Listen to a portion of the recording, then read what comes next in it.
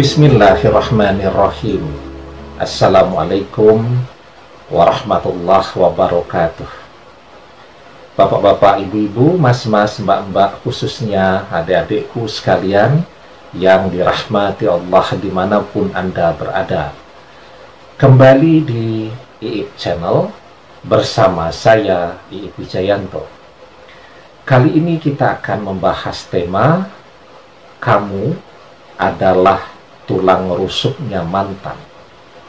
Bagaimana dia tidak akan kembali kepada ya.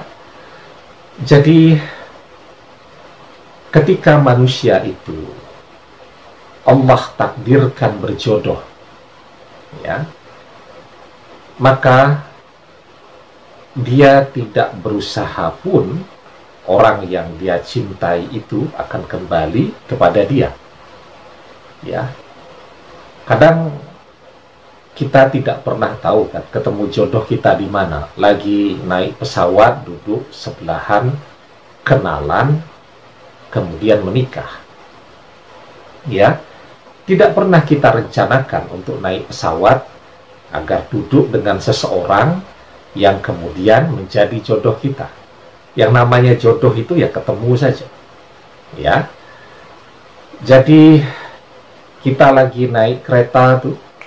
Tidak kita rencanakan ya. Misal mau mudik naik kereta. Tahu-tahu duduk di sebelah seseorang. Kita kenalan kenalannya berlanjut kemudian saling mencintai dan menikah. Banyak kan yang seperti itu. Nah jadi sekuat apa pun mantan sekarang berusaha untuk pergi dari kita untuk melupakan kita untuk mencari pengganti kita sekuat apa pun dia berusaha. Maka ketika kita adalah jodohnya kalau wanita kita adalah tulang rusuknya.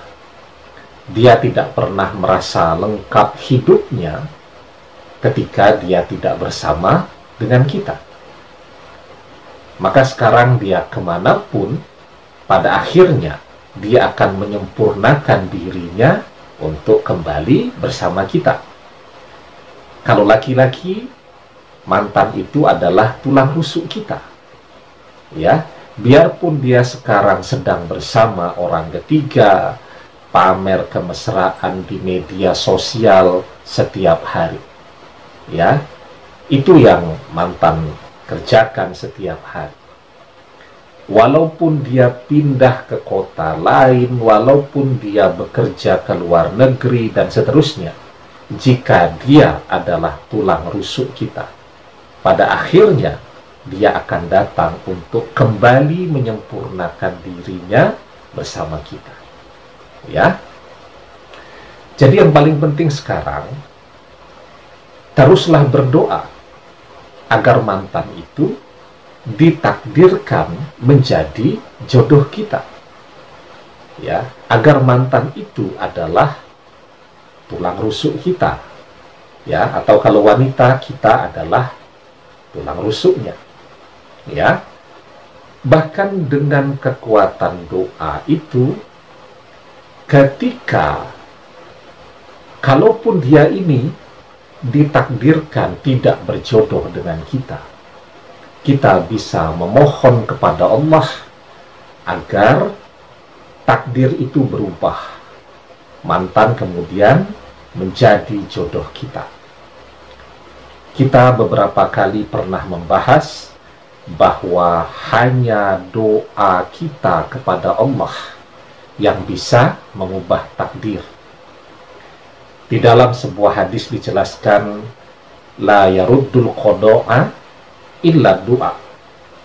Tidak ada yang bisa menolak takdir kecuali doa kita kepada Allah. Maka teruslah berdoa ya agar mantan dan kita ini satu kesatuan. Ya, kalau kita laki-laki, mantan itu tulang rusuk kita. Kalau wanita, kita adalah tulang rusuk dari mantan yang sedang berpadu.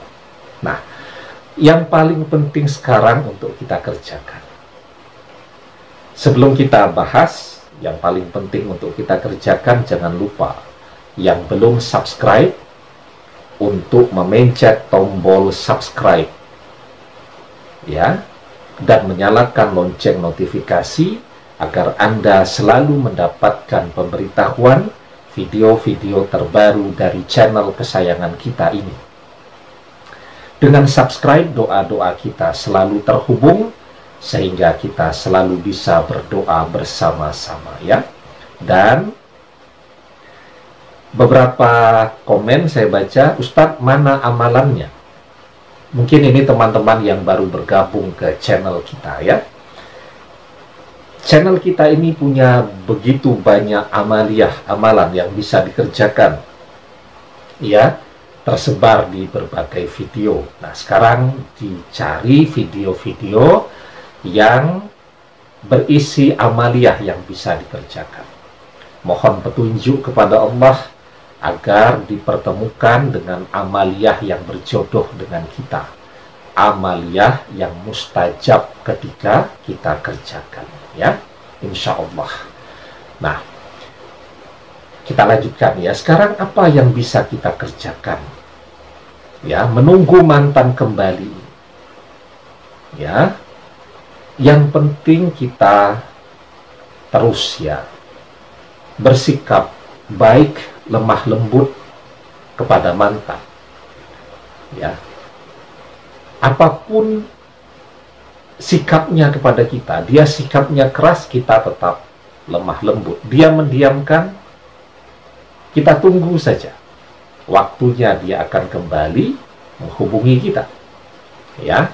Nah, ketika dia menghubungi, jangan lupa kelembutan itu akan membuat siapa pun merasa nyaman, merasa tentram, merasa bahagia bersama orang-orang yang bisa selalu bersikap lemah lembut. Ya.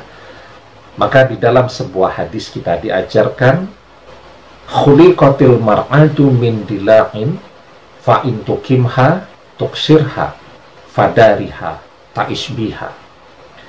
Wanita itu diciptakan dari tulang rusuk. Jika kamu meluruskannya, maka kamu mematahkannya.